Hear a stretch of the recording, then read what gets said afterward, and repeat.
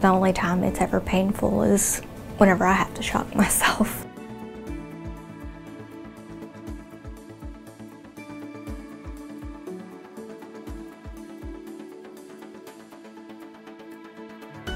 This is a big deal, so for, for young patients like Tori, this is a very, very important thing.